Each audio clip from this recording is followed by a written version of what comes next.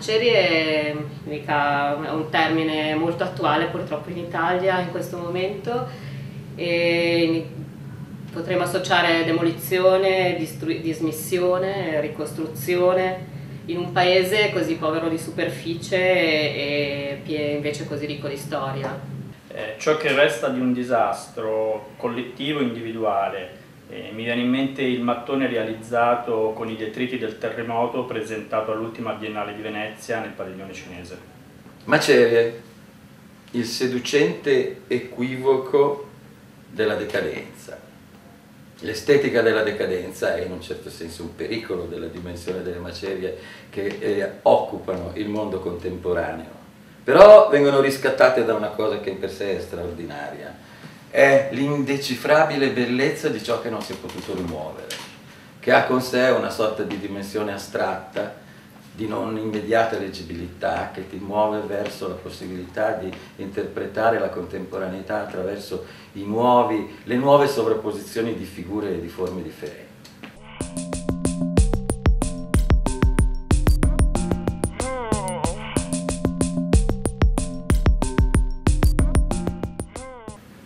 Mobilità significa riscrivere un territorio, eh, modificarne, dilatarne i perimetri e i confini, eh, alterare i tempi di attraversamento di uno spazio geografico.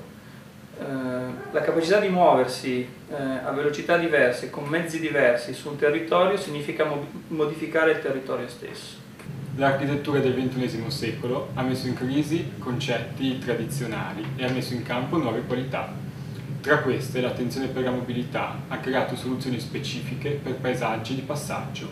È una necessità a che vedere con la parola adattabilità, ehm, direi che è la capacità di sopravvivenza di una specie.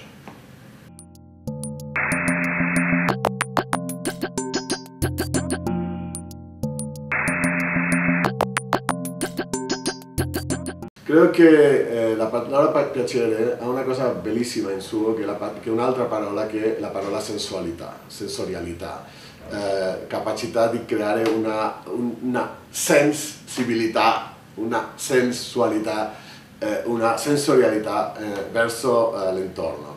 Il grande inganno di rendere eh, il funzionalismo, la funzione, la razionalità degli edifici come elementi realmente condivisibili e comunicabili è un inganno da combattere, le uniche cose realmente condivisibili sono il piacere, il sentimento e la poetica. La condizione postmoderna per eccellenza sotto certi aspetti, la disponibilità inclusiva del poter usare tutte le forme nella maniera più scomposta possibile inizialmente, ma poi invece di articolare in un discorso più eh, in qualche maniera riferito ad una realtà concreta.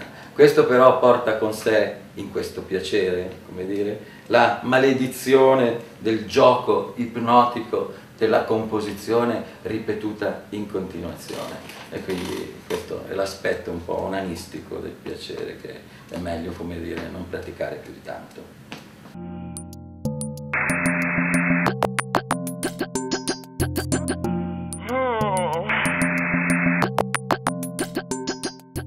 La rivincita della parola tempo sulla parola spazio. Mi viene anche in mente il termine inclusione e usare la E come congiunzione anziché la O come dissociazione.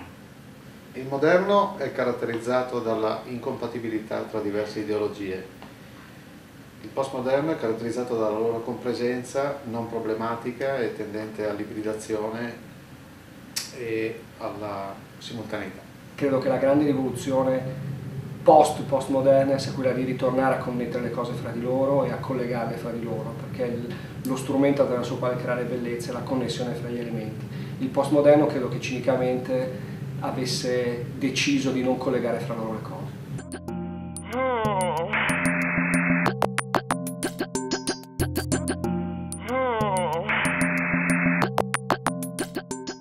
Realismo. Il realismo è stare un po' coi piedi per terra poi si può dire che un architetto se sta troppo coi piedi per terra si sporca, quindi deve stare un po' con la testa nelle nuvole, però bisogna essere altissimi, molto molto alti. Se abbiamo momenti di eccellenza, abbiamo avuto momenti di eccellenza nel corso del XX secolo è perché eh, nelle varie discipline, nelle varie arti abbiamo guardato la realtà, anzi il momento più drammatico che è quello dopo la fine della seconda guerra mondiale, il momento eh, direi doloroso guerra civile, di scontro, di fine di un'epoca, di fine delle, delle speranze, se abbiamo ritrovato il modo di esprimere valori creativi forti è stato perché abbiamo guardato con serenità, a volte anche in modo tragico, alla realtà. Il realismo è una visione disillusa della realtà, un nuovo punto di partenza da cui tracciare un'estetica per il nuovo millennio, ambientale, sostenibile, visionaria.